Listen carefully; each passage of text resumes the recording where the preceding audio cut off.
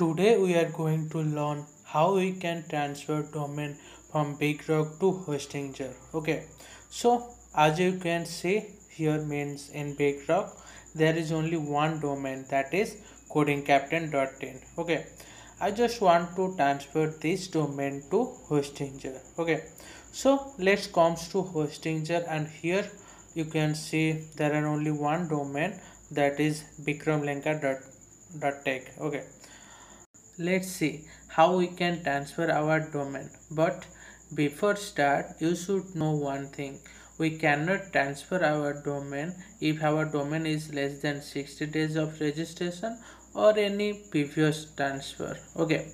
And second thing when you transfer any domain you should look after the three options. One is threat protection second one is domain forward forwarding and third one is transfer code. Okay these three options are important when you transfer any domain. Okay so first come to BigRocks and click on our domain. Then this page is open and here as you know we, we should look after these three options transfer code threat protection and domain forwarding. Okay First you should turn off the threat protection.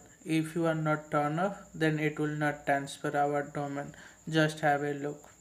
Here on Hostinger go to domains then click on transfer an existing domain then uh, if I enter my domain name codingcaptain.in uh, then click on transfer then you can show it through some error message domain is locked please unlock these things okay so for unlock what we have to done now we have to enable the domain forwarding which is already done.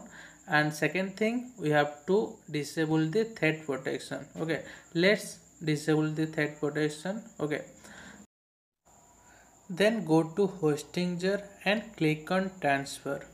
Now one checkout page is pop up that means our domain is ready to transfer. Okay so after checkout i will uh, i will restart my recording because uh, you know for security reason i have to stop my recording. So okay?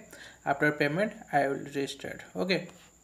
Payment part was done. Now if you go to Hostinger here as you can see our domain codingcaptain.in was moved to Hostinger but its status is pending. So we have to just follow some step. So click on this arrow button.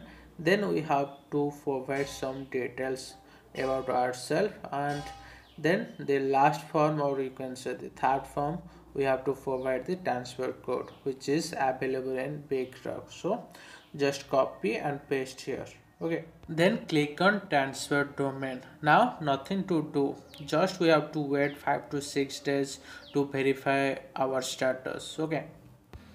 If this video is helpful to you please like share and subscribe to my channel